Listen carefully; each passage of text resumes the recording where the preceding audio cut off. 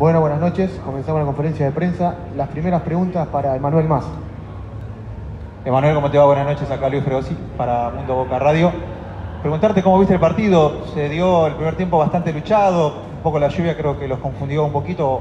O le dio el partido justamente para eso, ¿no? Eh, parece que después del primer gol eh, se abrió el partido y ahí encontraron los caminos.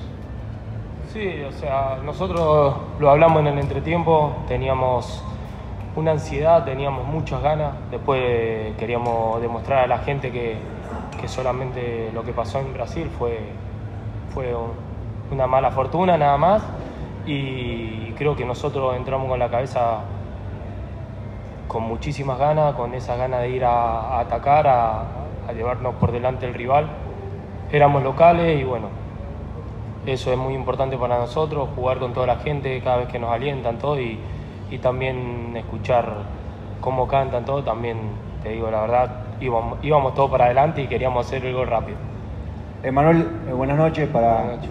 para vos también, para Gustavo. Eh, Pablo Aranda para equipo de todo Boca y Boca pasó en total. ¿Qué cambió del primer tiempo a- al segundo? Que bueno, da la sensación que el primer tiempo no encontraban los espacios, el rival por ahí estaba estudiando cómo, cómo se plantaban ustedes. ¿Qué, qué fue lo que cambió en el segundo tiempo que salieron de otra, jugar de otra manera? La paciencia, esa fue la clave. Eh, tuvimos más movimiento, más control de pelota. Ellos también eran un equipo que, que se cerraban bien atrás, que muy inteligentes. Eh, habían sacado un empate importante en Colombia y creo que, que vinieron a hacer el mismo juego. Eh, pero nosotros siempre intentamos, el objetivo habíamos trabajado en la semana la presión. Ellos salteaban bien en el primer tiempo la presión y bueno, en el segundo tiempo esa presión la empezamos a contener nosotros, empezamos a atacar mucho más y creo que esa fue la clave, la paciencia del equipo, eh, la calidad de jugadores que también tenemos y, la inteligencia dentro de la cancha. Emanuel Hugo Hernández, Boca una pasión de acá, de Mar del Plata, para KL KLA. ¿Sabes que me da la impresión de que, que Boca este, recién se reanima cuando hace un gol? O sea, está jugando sin precisión. Recién ahí se calma y Boca empieza a jugar. ¿No lo viste así vos? Creo que a todos los equipos les pasa, eh, no solamente a Boca. Fíjate que, que una vez que, ya tomas el control, haces el gol, ahí es donde las pulsaciones bajan, eh, ya, ya pegaste la primer trompada, te hablo en, el boxeo, la primer piña la pegaste y bueno, creo que ahí es donde todos somos inteligentes, empezamos a tener más control de pelota, eh, hacemos lo que también nos pide Gustavo y dentro de la cancha tenemos muy, mucha calidad, tenemos mucho control y creo que eso fue lo, lo que cuando bajó más la, la- la ansiedad, como te lo digo, estábamos muy ansiosos, queríamos hacer el gol rapidísimo y eso a veces en esta instancia no, no jugó mal y bueno, por suerte se, se pudo ganar, que eso es lo más importante y de local, que sigue el objetivo claro que es clasificar. Bueno, muchas gracias, Emanuel. Gracias a todos. con Gustavo Alfaro. Gustavo, ¿qué tal? Estamos en vivo para Radio Mitre. Eh, primero preguntarte qué sensaciones de, de este triunfo, que casi que lo deja clasificado, si bien falta un, porcentaje y faltan dos partidos importantes. Eh, ¿Qué sensación te deja? ¿Cómo queda Boca parado en el grupo según tu visión? Eh, y después consultarte si, si vos seguís viendo que a Boca de arranque le cuesta abrir los partidos y una vez que convierte los goles, ahí es como que se libera un poco más el equipo y hace la diferencia. Sí, buenas noches. Primero que era un partido eh, trascendente para nosotros, era, clave porque era volver a jugar en condición de local. Eh, habíamos tenido una, una derrota que nos dolió mucho la semana anterior eh, en Brasil y necesitábamos volver al triunfo rápidamente. Creo que nos complicó también, o sea, esa combinación de, eh, de ansiedad y el, cambio climático que se dio prácticamente en, el arranque del partido. Empezó a llover fuerte, la cancha se puso rápida, el primer tiempo estábamos con el viento en contra. Eh, y ahí al equipo, como decía Manuel, lo vi apresurado, ansioso, lo, vi con, con la ansiedad de querer meter el gol rápido. Habíamos tenido una pelota, creo que antes de que pase el primer minuto, Carlitos tiene una, una jugada mano a mano para resolverlo. Y creo que después de ahí eh, eh, empezamos a, equivocar a veces los caminos, porque, porque a veces la imprecisión o el apresuramiento te lleva a la imprecisión. Eh, yo veía mm, que nosotros teníamos que tratar de montar el juego por adentro, porque ellos esperaban de mitad de cancha para atrás, no había espacios y como Bebelo no encontraba la pelota, Carlos no encontraba la pelota, se venían de, delante de la línea de los volantes centrales de ellos a querer buscar. Entonces manejaban la pelota ahí, pero donde nosotros no le hacíamos daño a, a. Entonces había que tratar de, que la pelota la traigan los centrales, la traigan los volantes eh, por el medio para que lo ubiquemos a, Carlos o a, Bebelo a, las espaldas de los volantes de ellos después darle amplitud, ya sea con Sebastián o eventualmente con los laterales por afuera y ahí imprimirle velocidad. Creo que hay momentos en los partidos, hasta nos toca también la adversidad de tener un penal y no poder convertirlo. Entonces es como que todo se pone, da la sensación que se te pone cuesta arriba. Y tenés por un lado la obligación de tener que ganar y por otro lado que a lo mejor no podés hacer el partido que querés jugar. Porque a veces que, vos querés jugar un partido o el rival tiene sus virtudes que te lo, te lo neutraliza. Pero desde el momento del primer gol, fíjate que también se lo decía en el entretiempo, nosotros convertimos el primer gol y en lugar de serenarnos, es como que seguimos con ese nivel de, ansiedad muy alto.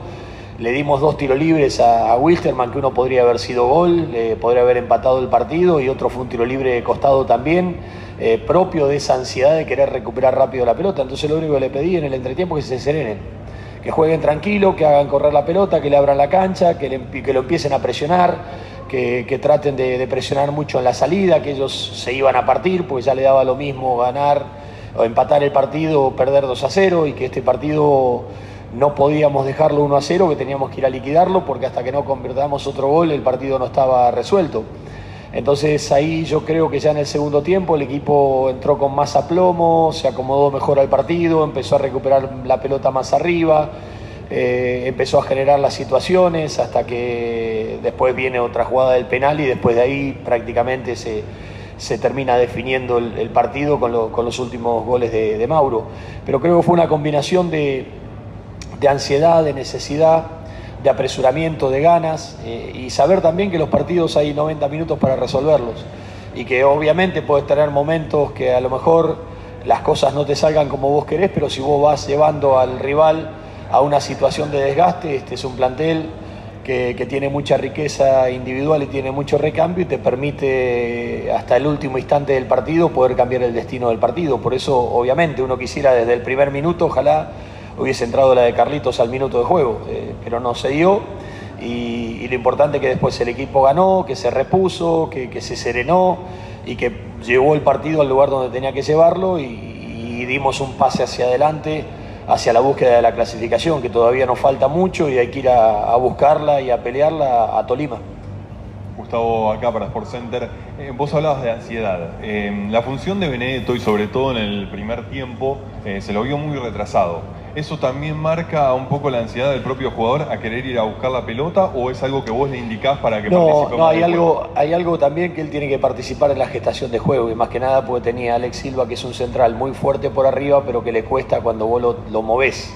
Si vos le das un punto de referencia, él se la rebusca por la altura, piernas largas. Acordate allá en el partido de, de ida, eh, una pelota que Darío le peina a Bebelo, Bebelo se va mano a mano y él llega con las piernas largas a sacar una pelota a Bebelo cuando se va mano a mano con el arquero. Entonces, cuando no le das un punto de referencia, lo moves, le generás espacios, es ahí donde me parece que le cuesta a, esta defensa tomarla. Entonces, el tema era que nosotros necesitamos de primero salir limpio con la pelota y después colocar la pelota a las espaldas de, los volantes de ellos. Y en eso puede ser que esa función la pueda hacer, normalmente la hace Reynoso, la hace Carlos, pero la puede hacer Pipa también, siempre y cuando Carlos ocupe el espacio vacío, Villa ocupe el espacio vacío, o Bebelo eventualmente ocupe el espacio vacío, porque una de las cosas que yo le estoy pidiendo a, tanto a Bebelo como, como a Villa, que lleguen a la zona de definición. El otro día contra Brasil yo le mostraba que había muchos desbordes donde nosotros teníamos únicamente a Benedetto en, en, en, la zona de definición y lo veía tanto a Carlos como a, a Bebelo fuera del área y yo les, les pido o les exijo entre comillas que entren adentro del área. Hoy Julio gana una pelota eh, muy compleja, muy difícil y, y Bebelo termina definiendo adentro del área chica en una diagonal que él tira. Entonces son todas cosas que, que, el equipo tiene que ir adquiriendo y tiene que ir asimilando en pos de buscar eh, el mejor equilibrio posible, que nos otorgue el mejor rendimiento posible de acuerdo a las características del rival, porque hay veces que te va a convenir jugar pelotas cruzadas, atacar por afuera, atacar por adentro, y eso te lo va a dar las características del rival. Gustavo, acá para Show de Boca, Radio Rivadavia. Yo te quiero preguntar, porque hoy la, bo- la bombonera ovacionó a Zárate. Zárate es el goleador desde que vos sos el técnico de Boca. Eh, pelea el puesto con Tevez, está claro, pero... Han jugado eh, juntos también. Sí, han jugado juntos también. Pero hoy parece que es uno u otro. Eh, hasta parece injusto que fuera suplente. ¿Te mete cada vez más presión, eh, Zárate? No, están bien, están bien. La verdad, o sea, yo por eso lo quería tener a, Guancho recuperado, lo quería tener a todo, a Agustín Almendra también. O sea, no me gusta tener jugadores afuera por lesión, porque yo digo, la competitividad es lo que, lo que te nivela para arriba.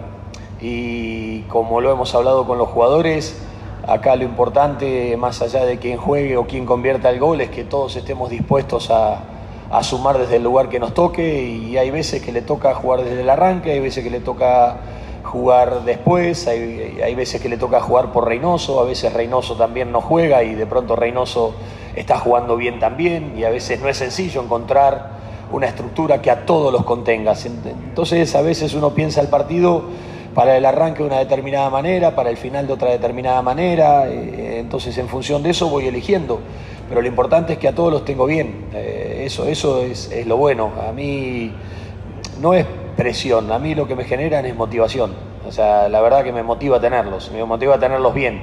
Después es una competencia y es, mi problema y mi decisión elegir eh, quién arranca el partido, quién termina el partido. Por suerte tenemos mucha competencia muchos partidos por qué jugar.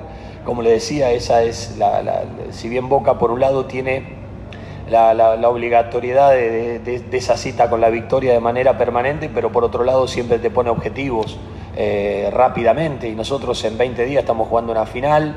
eh, tenemos que empezar ahora el parte- la, la- la clasificación a la, Copa de la Superliga, tratar de lograr la clasificación a octavos de final y para eso voy a necesitarlos a todos, no a 11 jugadores, con 11 no me alcanza.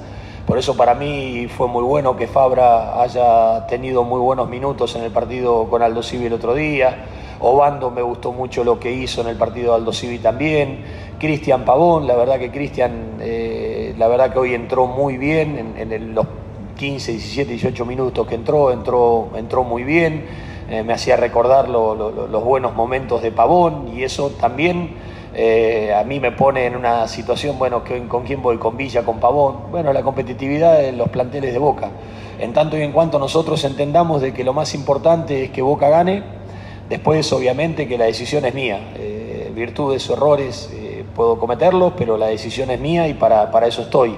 Y lo, lo bueno es que están todos bien, y que están todos bien y están en una, en, un- en una sensación de armonía muy buena el plantel y eso es algo que, que lo quiero cuidar porque entiendo que son las cosas eh, necesarias para, para lograr los objetivos que uno quiere. Hacemos las últimas dos preguntas.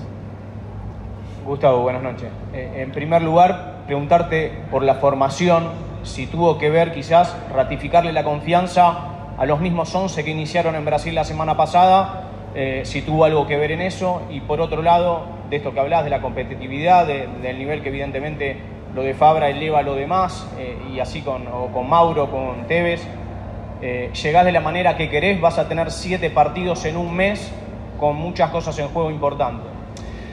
Sí, a ver, eh, si uno juega al fútbol, cuando vos tenés una derrota dolorosa, lo que querés es revancha. Y cualquier cosa que yo haya cambiado acá, eh, era como que al que yo sacaba, era como que lo marcaba como responsable de una derrota. Y me parece que, como le dije a los jugadores, el primer responsable de, de las derrotas soy yo. Entonces, me parece que en un punto tenía que ratificarle la confianza a estos jugadores que habían perdido. Un partido que habíamos perdido más por errores nuestros que por las virtudes que las tiene Paranaense, pero por los errores nuestros. Y me parece que se merecían una, una, posibilidad de tener la, reivindicación que, tuvieron hoy. De la misma manera que si hubiese estado por ahí Zárate, Pavón o Fabra el equipo, hubiesen jugado ellos. Eh, y después, porque también entiendo de que, o sea, a mi entender, hicimos un buen partido en Brasil. O sea, el primer gol fue un error nuestro en un saque lateral, el segundo gol nosotros perdemos una pelota en ataque, que, nos agarran abierto en un contragolpe, erramos, fallamos muchas situaciones de gol que hubiesen cambiado el destino del partido. Y obviamente que el 3 a 0 es un resultado muy duro y da la sensación de, que pone todo en un plano de incertidumbre. Pero ahí es donde uno tiene que tratar de tomar las mejores decisiones posibles y no perder de vista la esencia de, de lo que uno fue algún día un jugador y más que nada saber de que la posibilidad de reivindicarme en la cancha después de una derrota siempre la voy a tener. ¿Qué tal? Perdón, ¿qué me parte que faltaba? Sí, llego de la manera que quiero. Sí, a ver, de la manera que quiero, eh, pero todavía me falta. O sea, llegamos bien, eh, pero creo que todavía nos faltan. Lo hablamos con los jugadores la semana pasada cuando analizábamos el partido de Paranaense y esta semana también. Y yo le marcaba que hay pequeñas cosas que yo las quiero ver desde la agresividad, desde la presión, desde, desde la incomodidad que tenés que plantearle al equipo, desde la capacidad de desdoblarse, la necesidad que yo tengo que los volantes eh, tengan gol, que lleguen a posiciones de área, que eran cosas que las hacemos esporádicamente, que las tenemos que ir haciendo hábito. Y creo que eso despacito, hoy muchas cosas se vieron, más que nada en el segundo tiempo.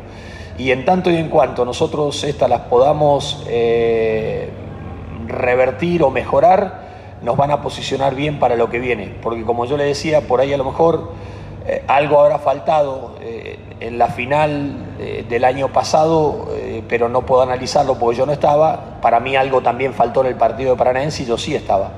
Entonces me parece que para esa clase de partidos nosotros tenemos que dar ese cachito más de, de exigencia de todas estas cosas que te estoy marcando para ganar esa clase de partidos contra eh, esta clase de rivales. Y eso es lo que nosotros necesitamos lograr en este periodo que vamos a empezarnos a jugar en estos dos meses que vienen. ¿Qué tal, Gustavo? Eduardo Martínez de la agencia Tela. Vos otra vez dijiste que no, no lees mucho, no escuchás mucho a los medios, porque estás muy abstraído con, con tu tarea, que es mucha. Eh, pero yo quería preguntarte, porque últimamente se habló del estilo Alfaro, y que vos a veces, para adaptarte un poco al mundo Boca, no eras tan auténtico con tu estilo en otros clubes. Quisiera saber si hay un estilo Alfaro, y si cuando vayas a Colombia vas a hacer lo mismo que en Brasil, un poco que fuiste al Toma Daca, o se va a ver más un estilo a, lo que era Alfaro en otros equipos. No, yo a ver, eh, esto me lo dijo un día Bilardo cuando estaba dirigiendo Boca. Yo lo, fui a ver al Sindicato Empleado de Comercio que entrenaba ahí Boca. Yo estaba dirigiendo Quilmes en el Nacional B. Y en un momento Carlos me dice, ninguna fotocopia, por más perfecta que sea, va a ser igual que la original. Entonces, por más que vos quieras imitar cosas, cada uno es lo que es. Como decía Serrat, cada uno es lo que es y anda siempre con lo opuesto. Eh, yo soy yo, yo tengo mi propio perfil, mi, mi- mi- mi propia manera de entender las cosas. Eh, soy obsesivo, eh, soy una persona que, que me gusta ganar, eh, quiero ganar a todo lo que, a lo que compito, o sea, mm, no acepto eh, por ahí más allá, por más humilde que sea el equipo donde esté, siempre quiero pelear por lo máximo, o sea, no me conformo con, con la medianía de la mediocridad de quedarte a mitad de camino. Eso me ha llevado a, a- a en clubes de poco renombre a clasificar a copas internacionales, con Quilmes, con Arsenal, con Tigre, con Gimnasia, con Huracán, eh, jugar Libertadores, jugar, eh, conquistar campeonatos. Y ese es una impronta que uno tiene. Después, obviamente, que cada, cada club o cada lugar tiene su propia idiosincrasia. Y no, yo, yo no voy a ser quien cambie eh, el estilo, ni pretendo, ni está en mí cambiar el estilo de nada. Lo que sí quiero es adaptarme a, a lo que es históricamente Boca y yo quiero, como se le dije a los jugadores el primer día que llegué acá, es recuperar el ADN de lo que es el, sentimiento boquense. Se lo decía a los jugadores hoy, en estos vestuarios hay mucha historia, en estos vestuarios hay mucha gloria, en ese banco eh, hay mucho peso, en ese túnel cuando uno entra a la cancha hay muchas voces de eco de momentos gloriosos que reclaman y estar a la altura de las circunstancias requiere un compromiso absoluto. Soy una persona que siempre pienso que hay algo más por aprender, que siempre hay cosas que, que quiero incorporar y que quiero que nunca me conformo. Hoy le estaba diciendo a, a Burdizo que, que me gustaría eh, tener una semana para irme a Europa para poder hablar con algunos entrenadores en Europa, eh, porque yo siento que todavía tengo que aprender un montón de cosas más, incorporar un montón de cosas más. Eh, no soy conformista, entonces tengo una, una ambición eh, por querer ganar. no disfruto este cargo, no lo disfruto porque este es un cargo que es muy difícil llegar. no, no, no es fácil ser entrenador de boca. Quizás este cargo lo pueda disfrutar el día que me vaya de boca, cuando, cuando con la perspectiva y la distancia pueda, pueda ver desde otro lugar. Entonces hoy eh, no digo que lo sufro, pero sí lo vivo intensamente porque sé que cada día es una batalla que uno tiene que conquistar, es un, es un jugador que tiene que convencer, es un plantel que tiene que empujar para adelante. Y, quiero, si vos me decís cuál es mi estilo, es esa relación de ida y vuelta que yo tengo con todos los planteles que he dirigido. Y ese es mi estilo. Después, la, impronta y la forma, yo no fui a jugar un partido de Brasil eh, golpe por golpe, no era mi intención. Yo le dije que si nosotros jugábamos un partido golpe por golpe lo perdíamos. Eh, y bueno, se dio un partido golpe por golpe, pero eso es una madurez que nosotros tenemos que adquirir y hay veces que hay pruebas o derrotas dolorosas como la que pasó el otro día que te marcan el camino. Los jugadores me decían que sintieron que en un momento el partido lo tenían controlado y cuando vos sentís que el partido lo tenés controlado tenés que desconfiar porque ese es el momento donde el partido se pone en una situación de riesgo. Entonces, por eso le decíamos, vamos 1 a 0, no nos confiemos el, instinto de, querer liquidar un partido que nosotros tuvimos con San Martín de Tucumán o con otros equipos, con un equipo que se estaba yendo al descenso, el equipo iba 3 a 1 y quería convertir el cuarto gol, es lo que tiene que tener Boca permanentemente. Entonces, todas esas cosas a veces es una asimilación que a veces es dolorosa porque tenés que pasar por trances que no son agradables, pero que cuando las conseguís es como que te encolumnás detrás de, de los objetivos que de la ilusión empieza a ser posible. Como yo le dije a los jugadores, es el momento de de poner en acción las mismas palabras que ustedes dicen. Entonces ese es el momento de demostrar, este es el momento de la acción. Entonces vos decís, ¿qué soy yo? Yo soy un cúmulo de todas esas cosas. Soy un insatisfecho permanente, soy un soñador empedernido, soy un tipo que no se da nunca por vencido y soy un tipo que, que va a luchar invariablemente por, por conquistar las cosas que vine a conquistar a Boca. Bueno, muchas gracias a todos. Gracias, buenas noches.